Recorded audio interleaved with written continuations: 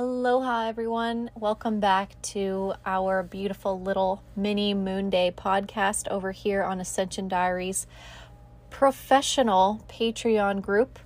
Thank you so much for becoming a Patreon member. If you're hearing this and you haven't yet, please go ahead to patreon.com slash ascension diaries and pledge to my professional blog so I may continue sending you this content right to your inbox.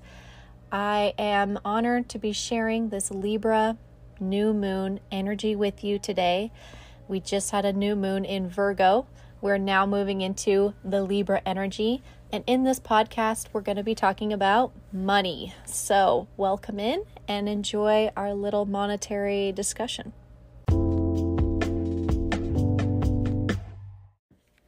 Now, yes, of course, this episode is sponsored. I am currently opening up month long coaching packages basically for anyone who would like to meet with me once a week for a whole month to accelerate their ascension basically and access and heal all of your ancestral and current energetic cords that need to be organized better.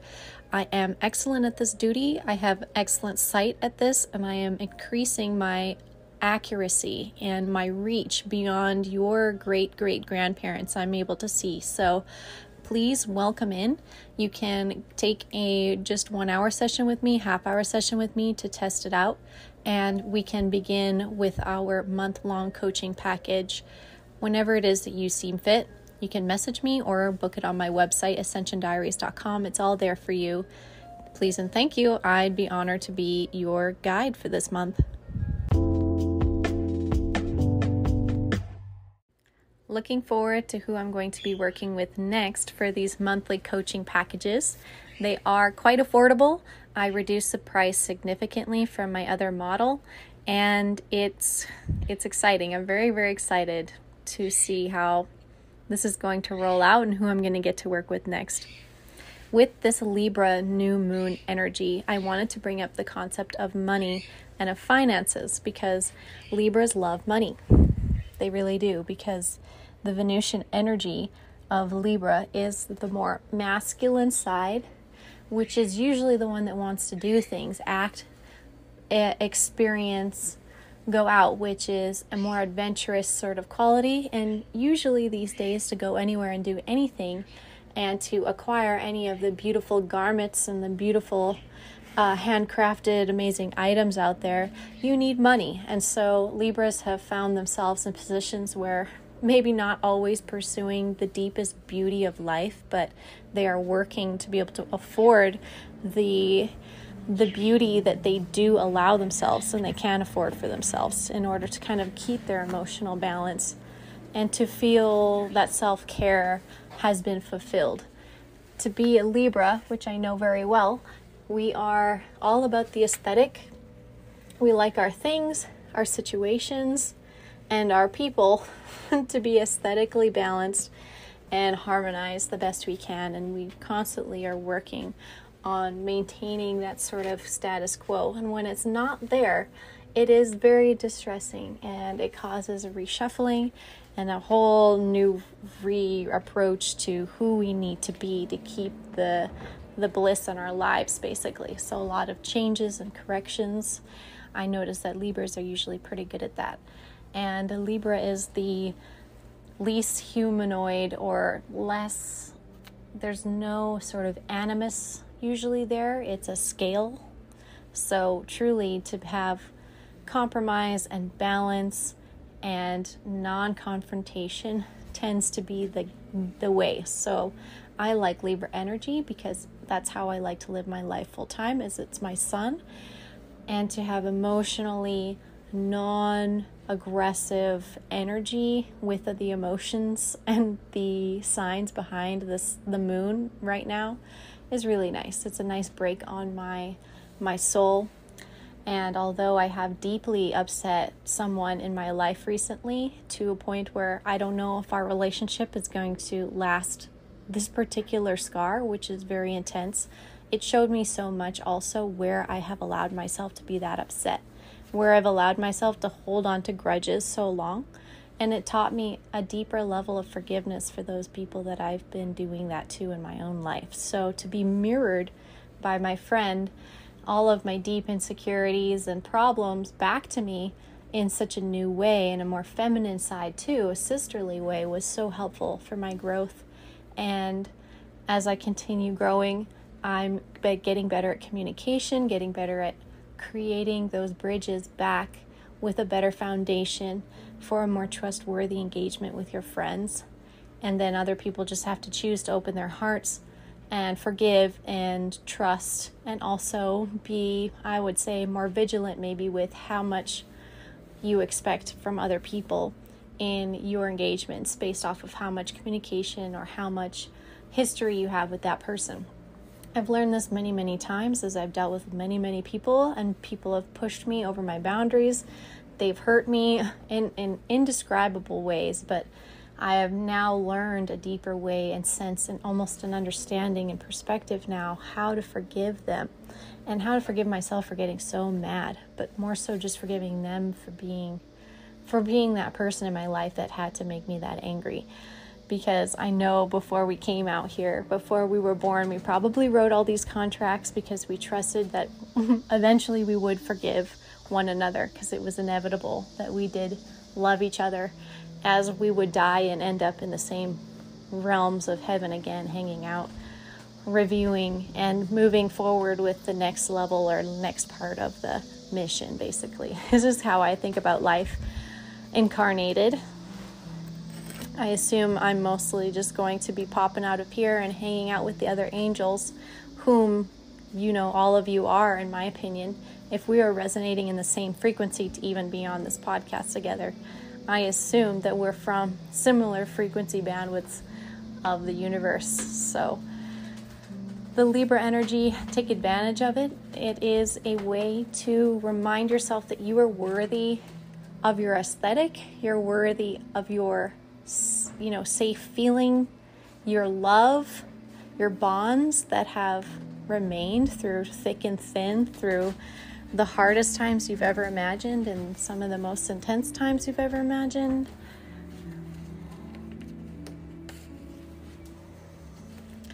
Astonishing progress to be made for all of us in the next few days from all of the solar flare energy that's going to that's been landing on us basically from 3 days ago till now. So today is currently the 29th of August 2022, Monday. The show really began on the Friday on the 27th and then the 28th. We're going to have a meeting on Wednesday where we can review all of this data as well and process this because I do basically group counseling as often as possible in a way with these space weather videos so we can review our weeks, we can review the data, and we can process the emotional impacts that all of these chips may have left residue in our systems with. So we can do that for ourselves and all the people we take care of because, again, people in my resonant frequency probably are very caring, in my opinion as the physics goes. So, that being said, welcome into this period post about 12 M class solar flares in the last three days. Clearly, a timeline shift and a jump, a frequency shift. Indeed, we all survived, we all adapted as we should, as we as we must. And when it comes to now creating and receiving what it is you need for this next timeline, for this next cycle, this next moon cycle, even. Many of you most likely were manifesting mon- money and monetary support to be coming back to you through the next lunar cycle when the full when the moon is full that's when all of your wishes at new moon supposed to come true for you or at least some progress and so, when it comes to money, I learned a mantra that I want to share with you about abundance that has helped me sort of open my chakras better because I was not getting the wording right.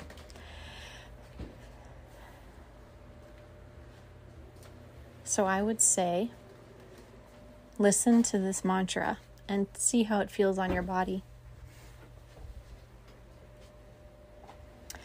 I am open to receiving the abundance I have manifested. I am open to receiving the abundance I have manifested. May it be money and more. For we are here for benevolent support and soul growth, approved of by Creator until further notice. and something like that. Maybe just see how that feels, opens up.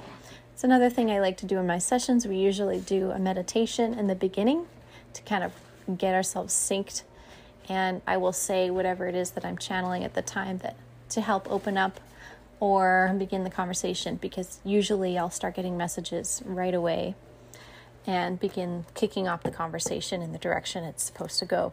But with the month long therapy, we can go in many directions and have I have many weeks and opportunity to really process a lot more to be able to deliver deeper and deeper levels of clarity about your particular aura and what's going on with your ancestral DNA and so on, which is what we're here to kind of suss out and fix real quick, as we all need. I've had it done to me in different ways. I'm now extending those techniques to people with my own as well intuitive awakening abilities and my natural tendency and abilities to be able to do this for people. So, I want to carry on and pass on those abilities as well by continuing to work with people. If you are interested in activating and becoming someone like myself, especially in the community, I am happy to aid you as well. We can hook up for one whole month and I can be your guidance counselor. We will meet once a week just like everyone else. 45 minute call and then we will see and move for, through that progress for the 4 weeks and get you launched. It will not take that much time. It really, that really will be a good window to pretty much accomplish any goal that you really need help pushing through. And then, if you must, and if you're interested, we can extend your coaching for two more months. But we can talk about that at the end of your first month. When it comes to money, you have to accept that you are worthy of of it and that you're actually a volunteer here on earth. You're a volunteer and they cannot afford your wages, you know? They cannot afford your wages because what only what only pleases you is a blissful universe with proper levels of schooling and opportunity for growth and safety for example. So, when it comes to those manifestations, you can go to those levels and just know that you will be provided for as an extension of God's energy itself, the Godhead, working here to bring light and anchor in the new earth through your creative abilities as a five fingered conscious ape humanoid alien thingy that is all prepped and ready to go and getting activated day by day, but some of you are getting activated sooner and are being motivated to get ahead of the crowd, to run ahead, to spearhead, like I once was and I do every day. If you were needing that extra support, I'm so excited to meet you because we have mutual we have mutual interests and we're going to understand each other and I promise I'll do my best to up level you to where you're thinking you're needing to go. and just just holding space for this next level of activation that's going to happen with all these solar flares coming through and these changes just like in 2017 there was many larger x flare radiations that came off of the sun and a lot of people woke up those years so we're getting x class flare warnings. And I want to say the psychics are coming to me when the M class flares start to pile up on themselves and they're like is this is this it? Is this the X flare? How big is it going to be? And I keep telling them I'm seeing messages about how this how the sizes are going to be, but I can only guess because really it's not up to me as much individually as it is the collective decision and our higher selves are thankfully I think steering that from a different perspective. Only a piece of our soul can manage to be down here, but we keep trying to make this piece that's down here more and more filled with light and more clear so that translation can be pure. Almost as if we're like a glass rod and the light can carry from one end of the glass rod to the other. It's a very interesting visual, but I can see how that was helpful. I'm now holding quite a large match in my hand. I don't even know literally where it came from. I just scooped it up from this random shelf. and this match, as the final sort of invocation for those of you who are trying to open up their wealth channels, it's just about feeling worth it. It's just about feeling like you're so much more worth it than it, it's even worth it's it's worthy of you. You have to allow it to be worthy of you in a way. You have to be you have to say it's worthy of you and you will receive it so you may serve. Serve strong and wise. I'm pretty sure the richest man in the Bible was asking for wisdom when he was given his biggest payout basically ever. So instead of pursuing wealth, pursue the wisdom and sharing of love and know that that is a just duty and you will be provided for by heaven and that's how I've that's how I've stubbornly lived my life and no matter what even mistakes I make it still gets replenished in other random ways because I keep that optimism which means I have faith in the great spirit I have faith in creator and in the process. I have faith that everything's going to work itself out, that I will be forgiven because I am forgiving, and that I'm going to continue getting inspired to help the community with more and more wisdom as well. So, for those of you again wanting to welcome in more wealth, just know that by this next full moon, it will be manifest for you. You're already on that progress.